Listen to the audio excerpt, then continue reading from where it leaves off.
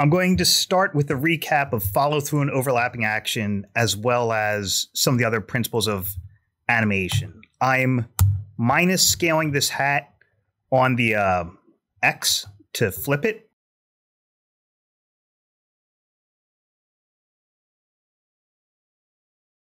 Lastly, the feather with that grid in the image.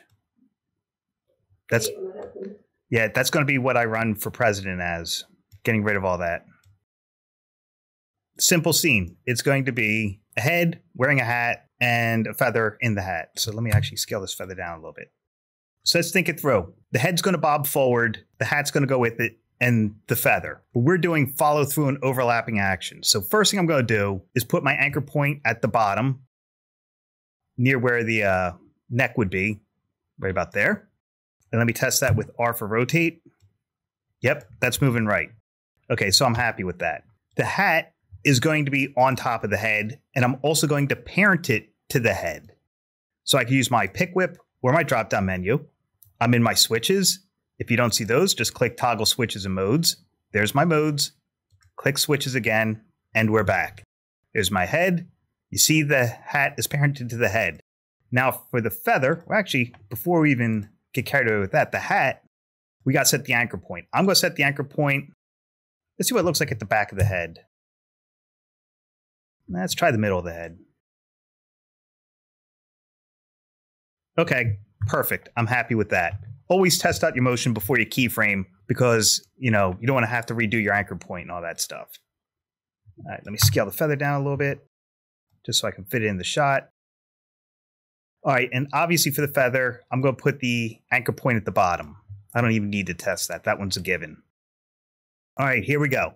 So if I want the head to bow forward, you know, that would just be my rotation. Oops, let me feather. I'm going to parent the feather to the hat.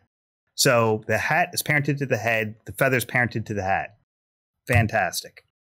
This would just rotate the whole character rig. Fine, but that's boring. So, we're going to do a quick recap on the 12 principles of animation. And the first one we're going to do is anticipation. Anticipation is setting up your animation with the opposite motion first. So we know he's going to bow his head forward. So anticipation would be the head moving back before it moves forward. Does that make sense to everybody? We want the head to go forward. So anticipation, we're going to go backwards first. So I'm going to do a couple empty frames, click rotate. We're going to go backwards a little bit to draw the eye to that motion. Then we go forward and bow the head down. And the head will eventually come back up to zero. So let's look at our motion. Anticipation, main action, resting position. The resting position is just the default for the character. Anticipation, the opposite direction. So Superman crouches down before he flies up. Or if a boxer's going to throw a punch, he winds up backwards before throwing the punch forward. There's our anticipation. There's our main motion. And we go back to our resting pose. That's an example of anticipation. I'm going to easy ease these keyframes by right clicking.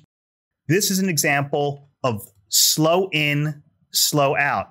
Slowing out of here, slowing into there. That's another of the 12 principles of animation. So if the head is going backwards, I'm going to have it slow into that. So going here, I'm going faster out of the first, slower into the second.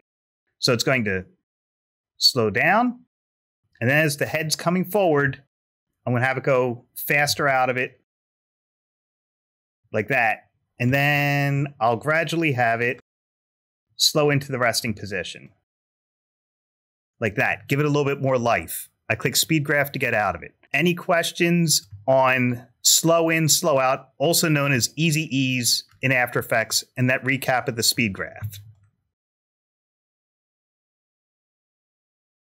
No? Okay. We're cooking with gas tonight, firing on all cylinders. Follow through and overlapping action. As the head is going back, the hat will have extra life moving after the head. It's following along with it. So I'm going to hit R for rotate on my hat. And just as we're about to reach the back, and before it's coming forward, I'm going to tilt the hat back a little bit. And it's going to be a little bit behind these keyframes. So, right about here, I'll get it back to zero. And then once it gets to the front, the head's tilting back. I'm going to tilt it forward a little bit because it's behind the head's motion. We're right about here. I'll set it to zero. And then I'll have it go back a little bit and then jostle to the front. That's a little bit of overshoot that we just did, going past the main motion and then back. So let's take a look at what that looks like. See the extra life we added with the follow through and overlapping action to the hat? I sure do, Professor Robleski. That's cool. Oh, thanks. okay. Any questions so far? There's our anticipation. The hat is moving behind the head, so it's a little bit behind it, doing the opposite motion. That's our follow through and overlapping action. The main thing to remember with follow through and overlapping action the further you get away from the source of motion, the more behind each object is, which means this feather is going to trail behind the motion of the hat. So I'm going to hit R for rotate. And right about here, I'm going to start with my feather. I could puppet pin it if I wanted, but I'm going to just do this to uh there we go, a little bit of drag. Set it back to zero here, so it's behind it. Hat's going forward. Now it's going to rotate more so. A little bit of drag, it's behind it. Hat's at the zero. So now I'm going to move it back a little bit. Have it go back even further. And a little bit of overshoot. I'm going to easy ease those. Oops. It's part of our 12 principles. Slow and slow out. Now let's take a look at our main motion.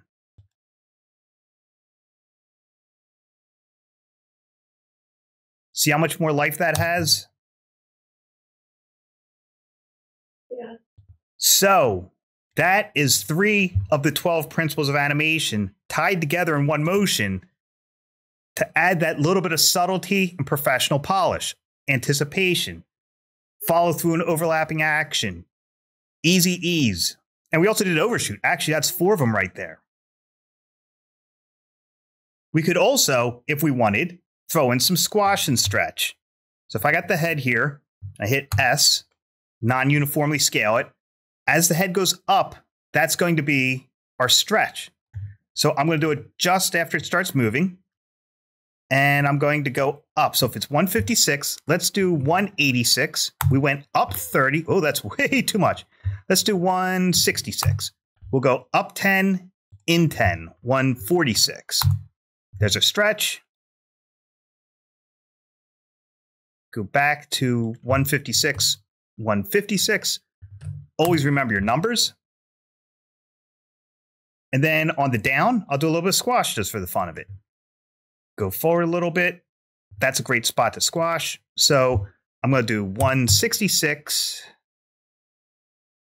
146. Squash is down and out. Back up to 156, 156. Stretch up and in, squash down and out. Let me ease those. See if that pushed our motion any further. See?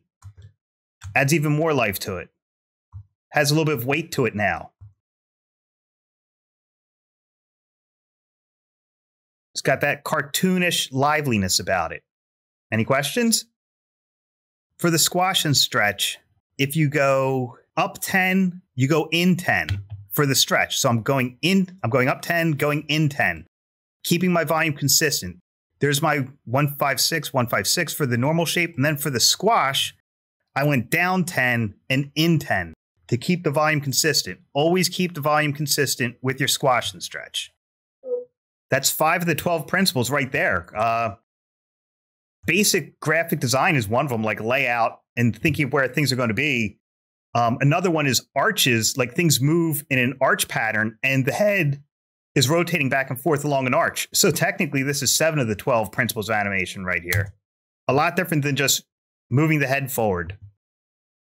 That's what I want to see with your final homeworks that understanding of the 12 principles of animation, that notice to detail and how things should move when they're parented together. All right. And of course, you could hit U to see all the keyframes, like such. We've got our overshoot, slow in, slow out, anticipation, and follow through and overlapping recap all handled. Okay, because now we're going to go back to our letter morph and we're going to apply all of those to our letter morph. And in addition, this second shape, we're going to strategize when and how it should come in. The first motion, the A is swinging counterclockwise. So we can add some overshoot to that. I'm going to rotate the letter, not the shapes inside it. So if I click here, have it go forward. Oops, daisy. What I do wrong? I forgot to set the anchor point. I sure did. I'm going to put right here at the bottom corner. Now, I'm going to set that anticipation up. It's going to go forward. And then we could amplify that motion, going back a little bit. This extra weight, we could have it tip back a little bit. As it's springing forward, have it start coming down. Now, it's not just going to hit the ground, it's going to overshoot up a little bit. So I'm going to go four, zero. Let's actually go past it a little bit. So we'll go four, four, go forward a little bit. Then we'll do three, three.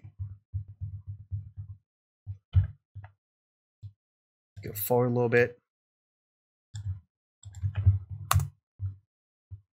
Then we'll do 2 2. And they're going to get closer and closer.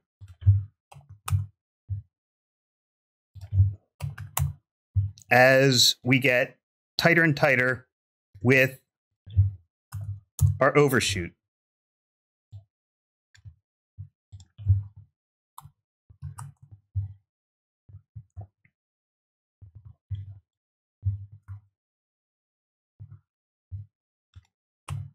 All right, now let's take a look at that overshoot.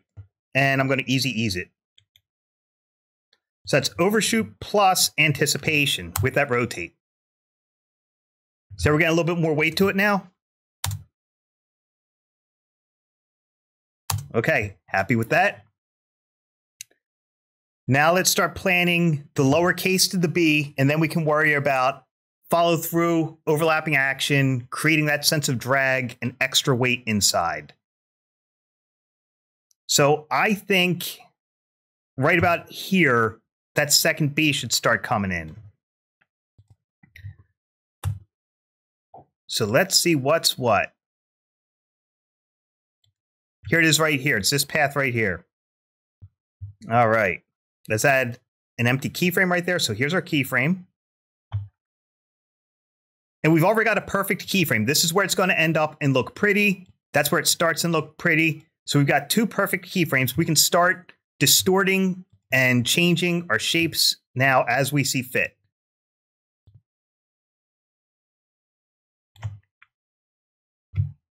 All right.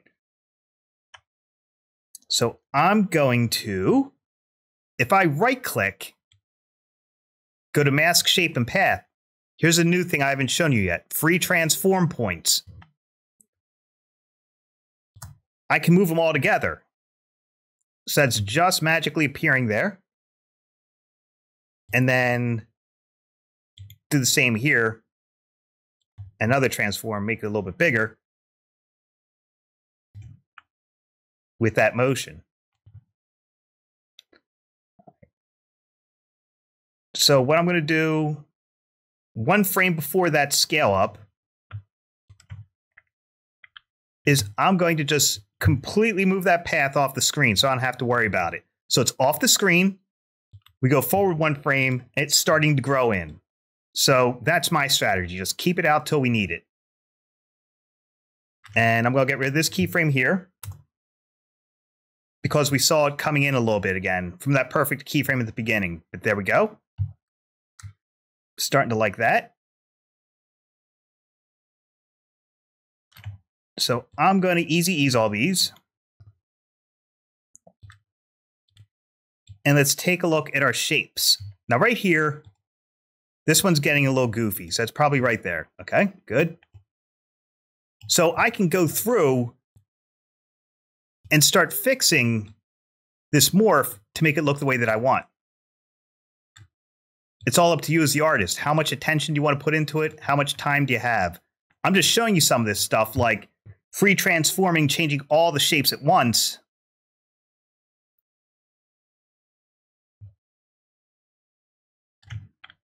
Okay.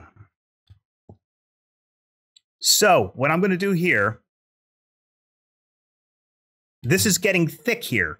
So I'm going to start lining this up with that leg.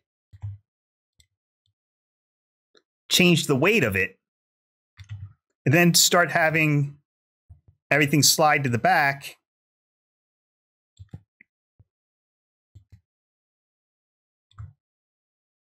Get a little thinner.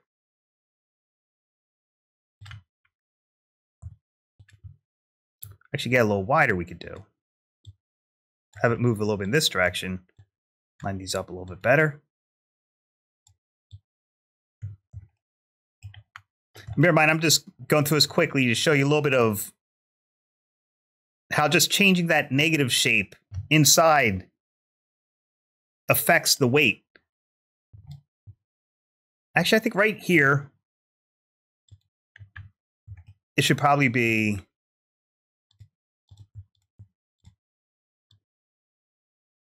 thinned out like that.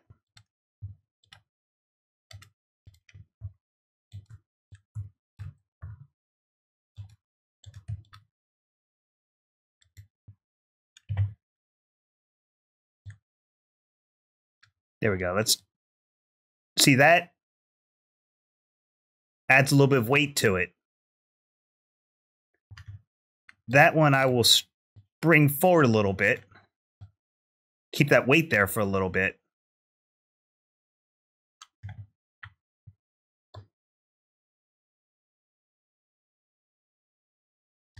Now let's take a look at this last shape. We can actually move these forward a little bit.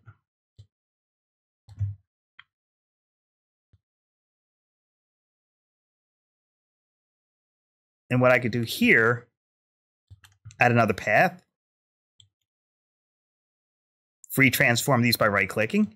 I can give it a little bit of weight by having it grow down towards the bottom, like it's getting heavier. And then with these overshoots, I can get both shapes. Right click and move them back a little bit just a little bit for some extra motion. Copy. Let's see, mask path. Have them come forward a little bit. Add a little bit of weight to it. See, now we got some shake on the inside. Once you start playing around the positive negative space, that's when you start getting that extra weight and the motion from the follow through and overlapping action.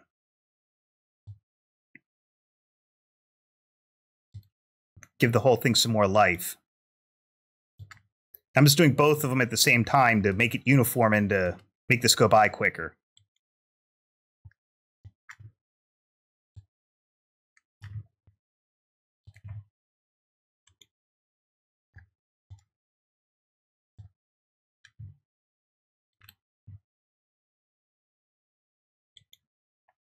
This should be the last one. So go for a little bit.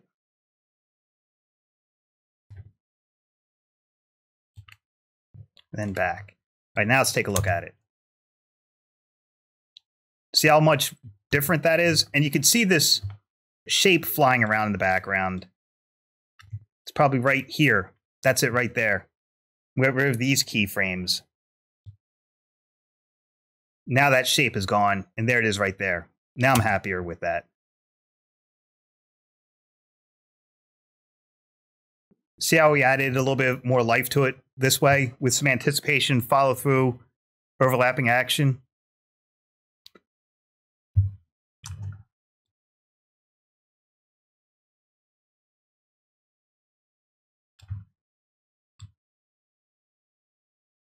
But you know what I did? I accidentally deleted the rotations. That's funny. That's what I did.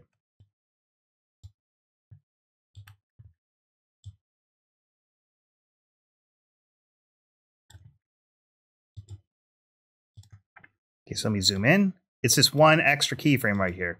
That's what's doing it. So I'm just going to move it further off because once our uh, rotation kicks in, that's what was making it come back on the screen. Now it's not coming back on the screen anymore. That's just a little bit of quick troubleshooting. And if I wanted to, I could right here start affecting. Uh, second.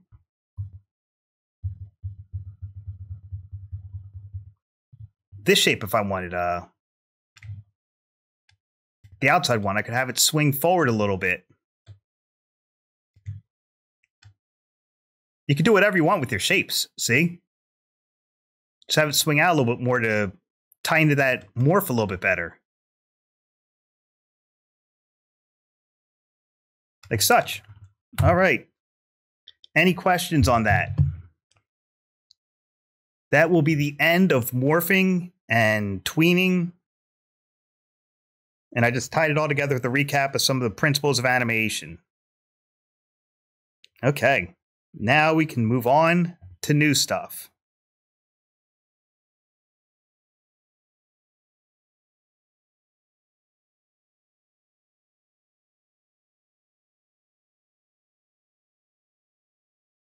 Let me just double check my notes.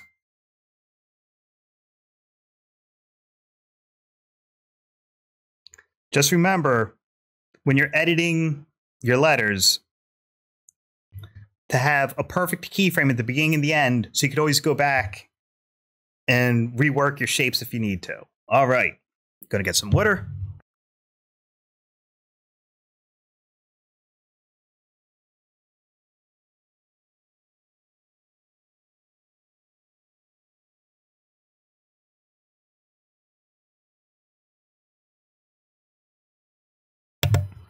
All right, and just to tie in with squash and stretch, remember to keep your volume consistent. All right, so sequential animation. Here we come. This is going to be fun. It's always fun. All right. So I'm just going to make a shape. I'm going to throw Venetian blinds on it. Venetian blinds is a popular transition. You see it a lot in commercials.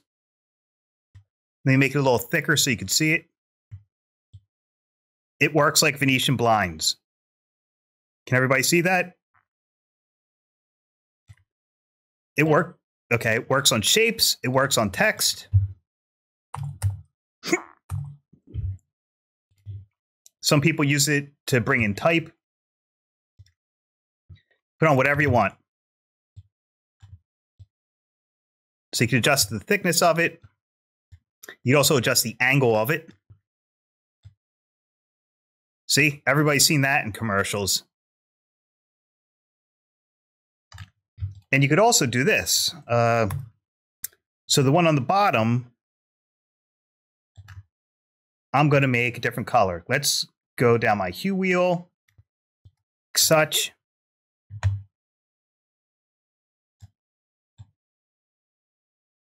See that? I'm transitioning between the two types using Venetian blinds. All right. Everything moves uniformly. That's Venetian blinds. Everybody understand? Yeah. Okay. sequential animation is different. So I'm going to make this the height of the screen. And I'm going to put my anchor point at the bottom middle, pulling down Command or Control to snap it. So if this is 100%,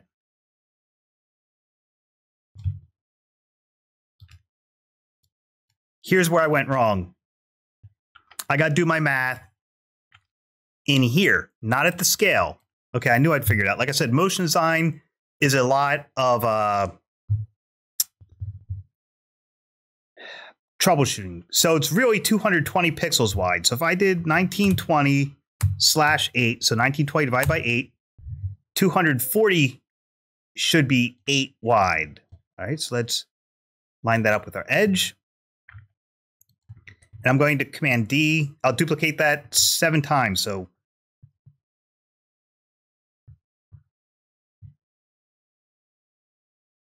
I'm going to grab the last one, move it over to the edge, select all of them, and I'm going to go to my align. And I'm going to distribute off the centers. Eh, let's try right here. There we go. I'm going to distribute off the horizontal center. Now I am filling up the screen. And I also noticed that this last one was not fully covering up the screen.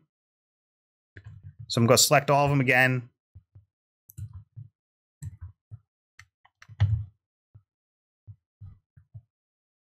Redistribute them. There we go.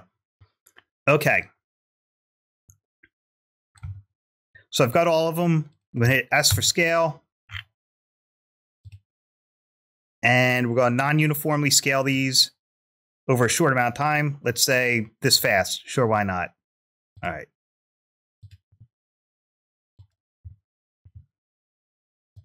So I'm going to work backwards.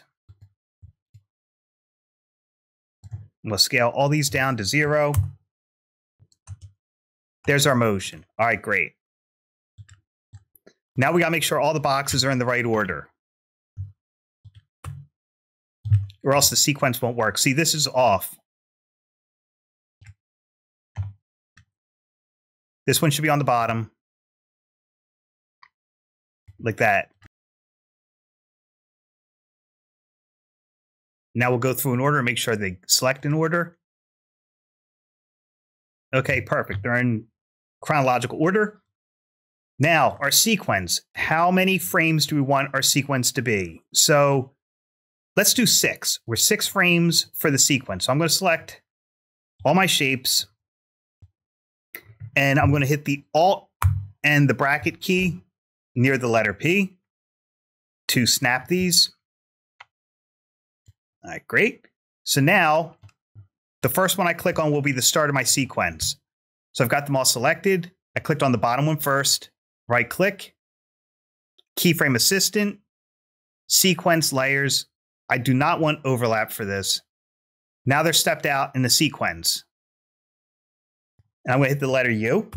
And you go, wait, those layers, all that keyframing, there's no layer covering it. That's a fast, easy fix. I'm going to hit Command A to select all of them. And once again, I'm going to hit Alt and the bracket, two away from the letter P. And I filled out the screen. There's my sequence and there's my sequential animation. Okay? Any questions over that so far?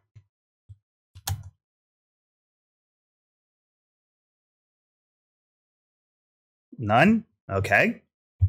Because now we're going to kick it up a notch, which is what we do in here. To select them all, pre-compose them, and I'll call this sequence one. All right, great. Now, let's go back to our effects, and I'll throw a fill on it. And I'll make this first one blue. I'm going to duplicate it, Command D, and we'll go forward a few frames. Let's say three frames. One, oh. One two, three. Let's do two frames. I'm going to offset my animation by sliding it in the timeline, and hitting the bracket next to letter P to snap it to the playhead. I'm going to change the color of the fill Let's make it a little darker. I'm going to go forward two more frames. You can see my sequence right there. I'm going to hit Command D. Oops. Duplicate the sequence. Hit the bracket by the letter P to snap it into place. Change the color of that.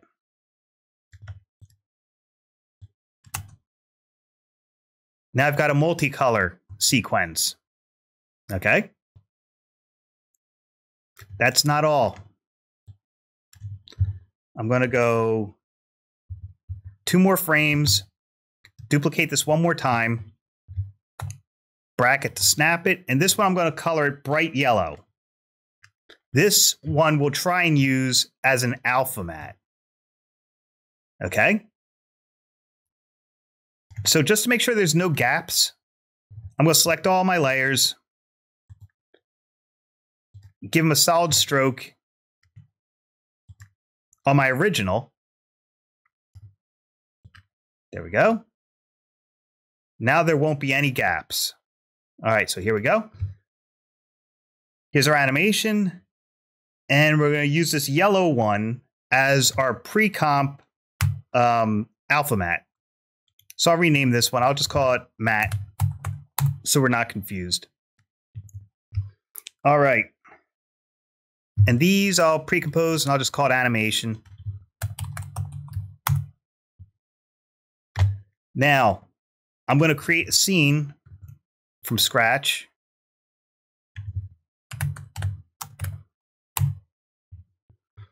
I give it a solid.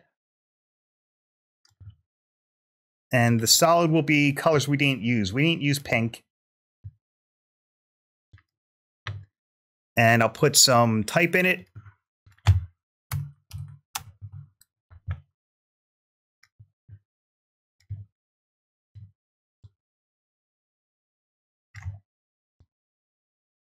There we go. There's scene one. I'm going to duplicate scene one in my project panel so that I can edit it without affecting the original. You'll see in a second. So if I change the solid settings and I make this blood red, if I go back to scene one, it's still pink because we duplicated it in the project panel. I'm going to change the font too, just that there's even more visual difference between the two.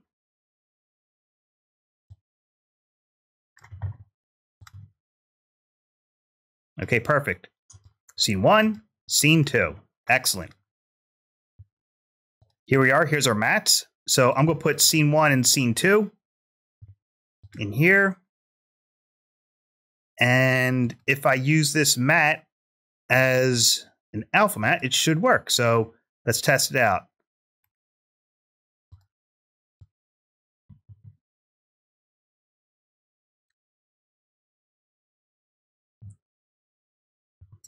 So if I want to go through them in the proper order, I put scene two above, apply my alpha matte to that. I still get the color bars. Oh, you know what? Wait a second. Put this above here. All right, so to keep the color bars, here's where it's going to get tricky.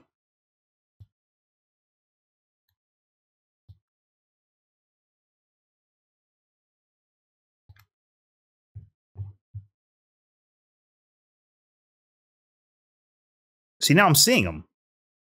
Okay. I'll take that as a win. It's just my layer stack order. And everybody's seen this in commercials, credit sequences, whatnot. That's why I'm showing you it. It's just sequential animation, timing things out. You get creative, you know, use it as an alpha matte from a transition from one scene to another. Any questions?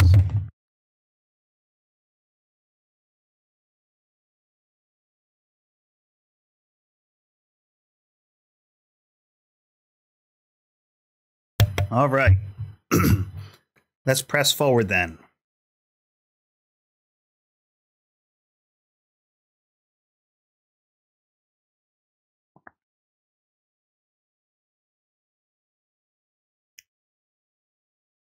All right, got my notes all set up. And we're gonna mess around a little bit with repeaters because repeaters are used in credit sequences a lot as well. So I can close this, that, that.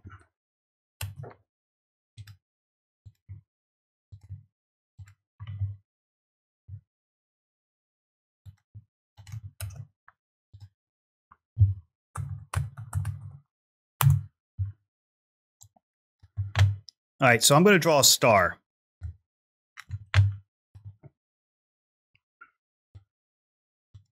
Make it red with a white stroke. Why not? Make that stroke smaller. Okay, and I'll put the anchor point in the middle for it. I'm just going to hold down Command and double click on the pan behind tool. It's the fastest way to center your anchor point. Let's move this right about here. Okay, so I've got my arrow tool selected and I've got my shape layer selected. I'm going to go to add and add a repeater. Let's try eight copies. Now, I'm going to twirl down the transform repeater. The position right here is what's got them stepped out. So if I change that to zero, they're all going to be right on top of this original one. If I change my rotation, I'm going to rotate them out.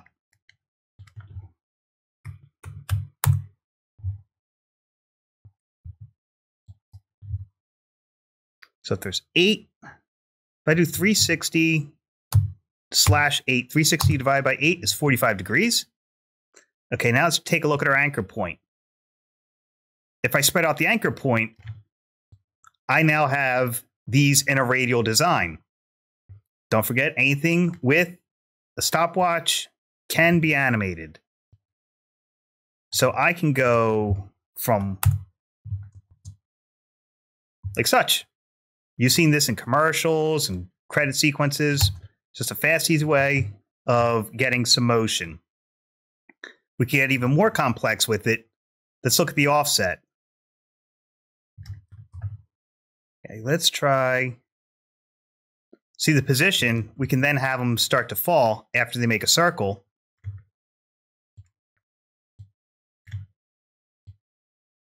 Drop down off the screen. Bring them back up. Try something different. We could do the start and end opacity as well if we wanted.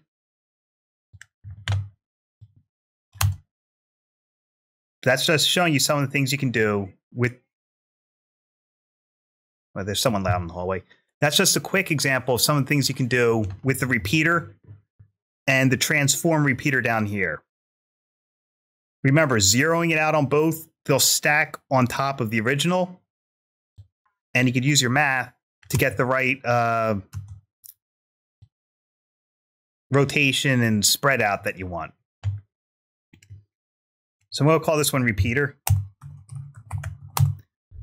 Hide it. And I'm going to make another star.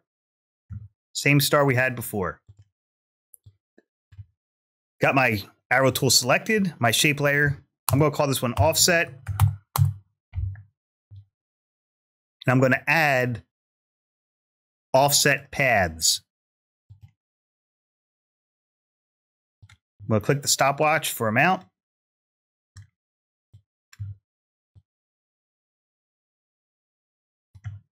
see the number of copies.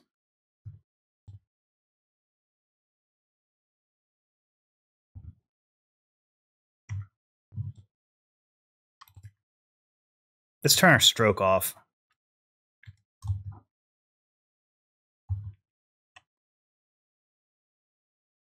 There's the copy offset.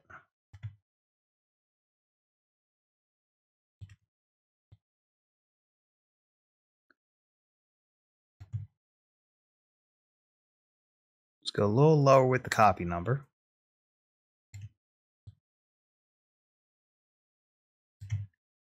Let's change this to a stroke with no fill.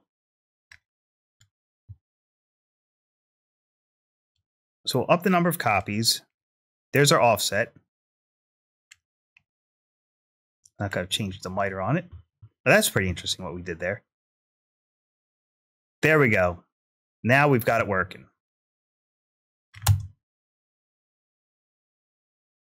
Everybody's seen this a million times over.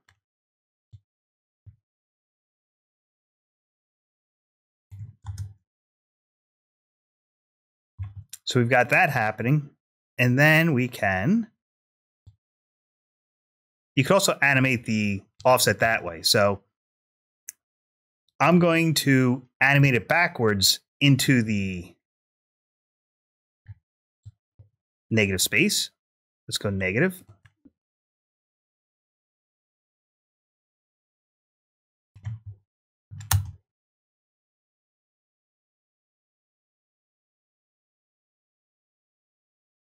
Like that. Remember, watch out for too much flashing strobes. Some people are very susceptible to that. And I'm going to have this rotate one full circle, and the offset should rotate with it. Like such. Complex, quick, easy motion. Can everyone see the difference between the repeater and the offset? All right. And you've all seen both of them used in credit sequences and commercials. So you see, I can get complex motion very quickly with barely any keyframing. All right. That was, let me double check. I think that was everything I wanted to cover tonight was the difference between the repeater and the offset. Yeah. All right. Hooray. Next week, we're going to start tackling puppet pinning and character rigging. All right. Does anybody have anything for me to look at for lab time tonight?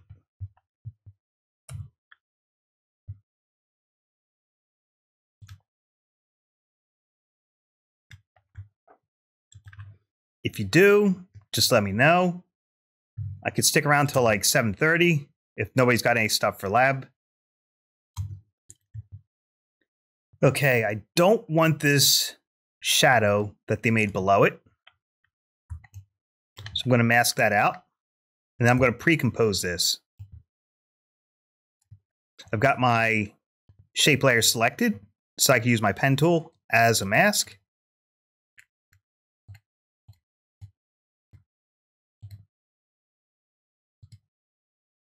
And for my mask, I hit M to open up the mask options, and I'm going to choose subtract.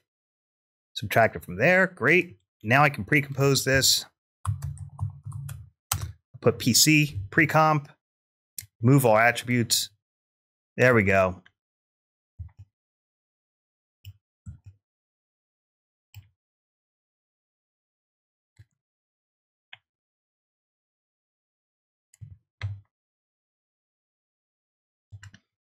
Yeah, watch out for where things are touching.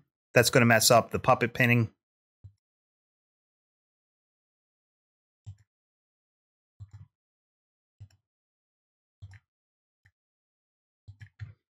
And remember, with puppet pins, you always pin down what you want to move as well as what you do not want to move.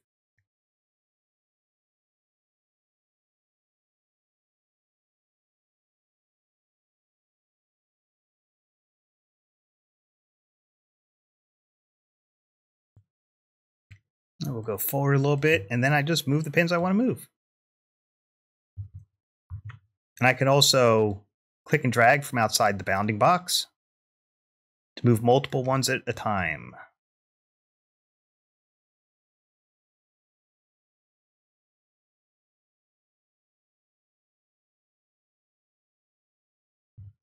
Let's check our mesh. The mesh is a bit too big.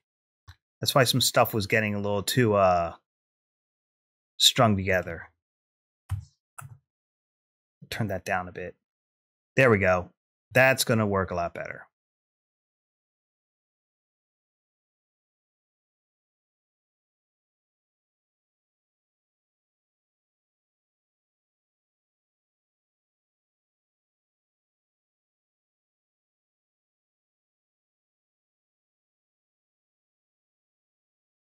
I'm gonna hit you.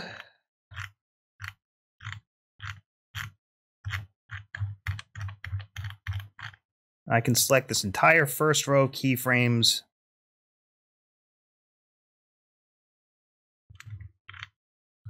Copy. Paste them. The playhead will, they'll get paste wherever the playhead is.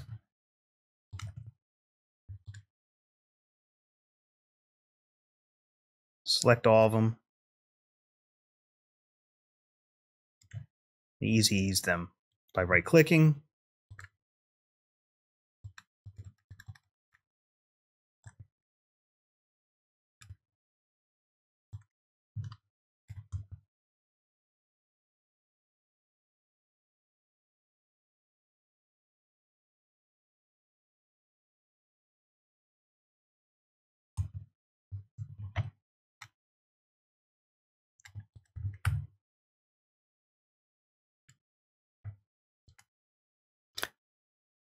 Oh, Dino, this one's for you.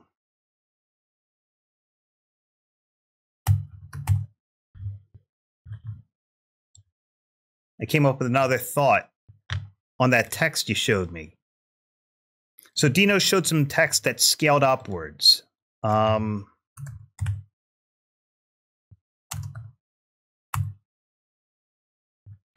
I'm gonna try scale wipe. I think that's what it is.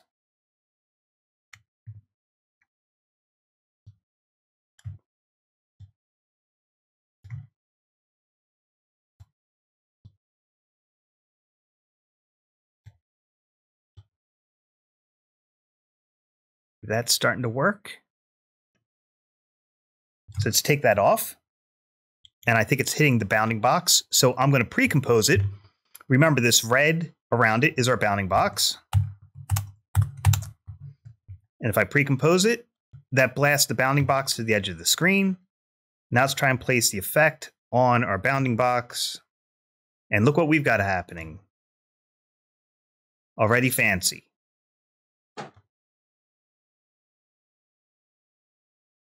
So you can mess around and get whatever type of motion you want and then change the angle.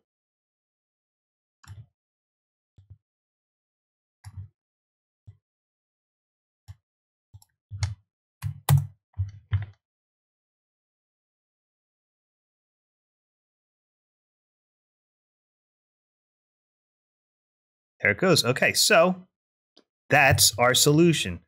I pre-composed the type to get rid of the bounding box. Then I threw CC scale wipe onto the bounding box, onto the pre-compose. I'm going to stretch it like 26. Animating the center up and down is what's going to make the text go to the top of the screen and then fly off it. I changed my direction to zero so it's pointing straight up. And we'll have this happen pretty quickly because you don't want to like delay on it. So we could say there's the stretch hit U for my keyframes. Okay. And then shortly after it, I'm going to let it hang there for a little bit just to create some drag. And then drag it down more until it's off the screen. And I'm going to easy ease those. Let's see our final result. Like that. Let's pretend you love that let's get templatable here. Text test PC. If I duplicate it, I can bring it in here. Hide the original. Change what this says. Use my name. Go back. Copy my effect. Put it on the duplicate that I made in the project panel. Now I've got the same effect with different type.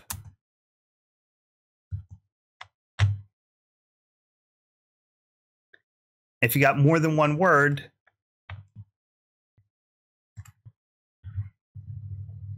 you could have this effect. Just put each word on a pre-comp to get the look you want. And since I spread those out, I can select both of them and line them back up so that they're in the center a little bit more. And there we go. CC scale wipe. That's the effect that Dino was looking for.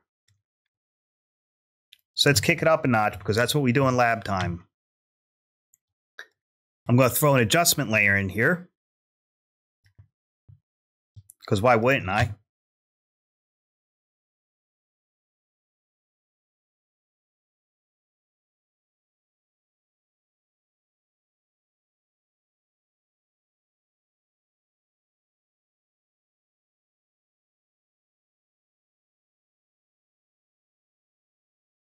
I'm just messing around with some color settings to animate that over time.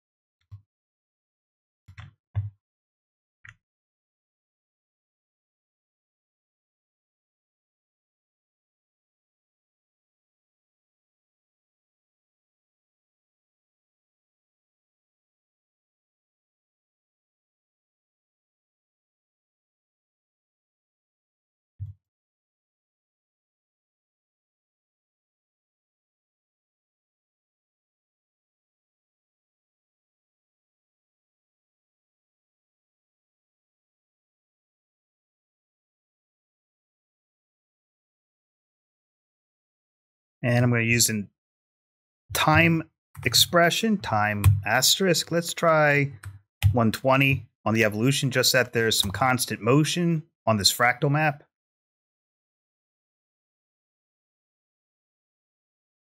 Let's up the complexity to 12. Scale it up even more.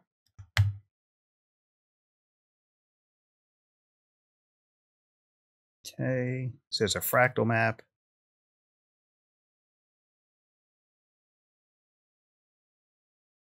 I'll hide that background. For my displacement, I'll choose that map. Now we got a little bit of that randomness to it. Had a little bit more of a hand-drawn look. That's another thing they did. Get that less computerized, sterile look to it. A minor displacement map.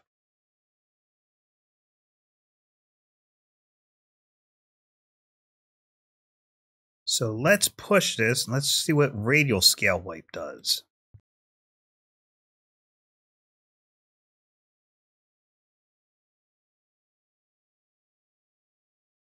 Probably does something similar.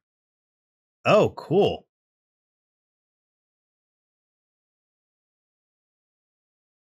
I said it's the same thing, but with an arc to it. That's pretty cool. And the reverse looks like it makes it come inward instead of outward. That's pretty wild. So that's radial scale wipe. And you'd animate the center and how much distortion you want. Cool part of the fun of just experimenting and getting creative and seeing what does what.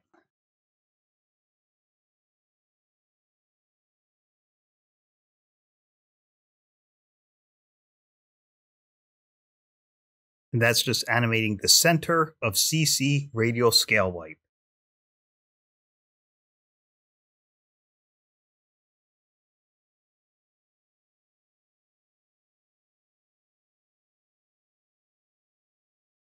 And also, pre-composing and throwing those pre-comps in a new sequence is a good way to experiment with things without damaging your original as well. Oh, that's cool.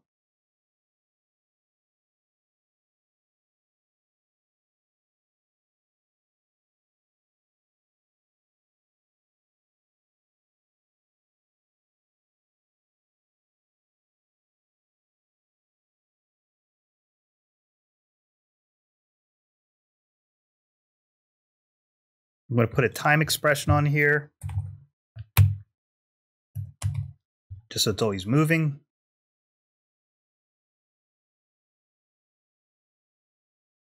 Like that. Now we've got some life.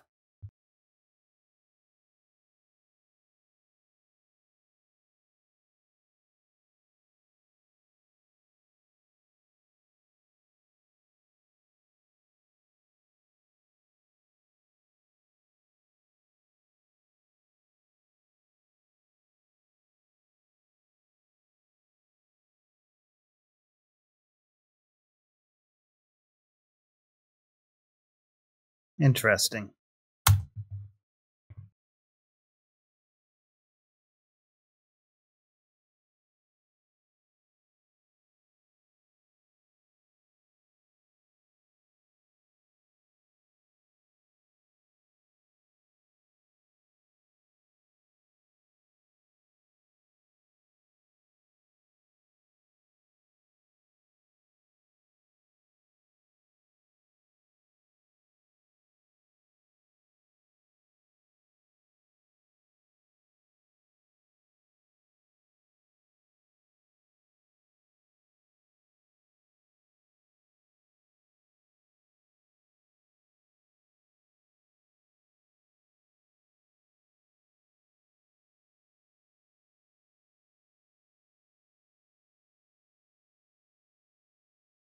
That's CC light burst. You can see how moving the center around affects whatever image you're using it on. That's pretty neat.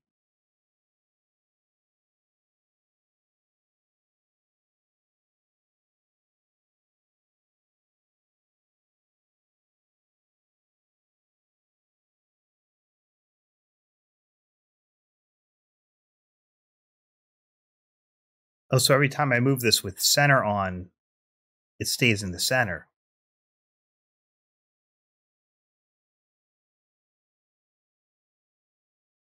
That's odd.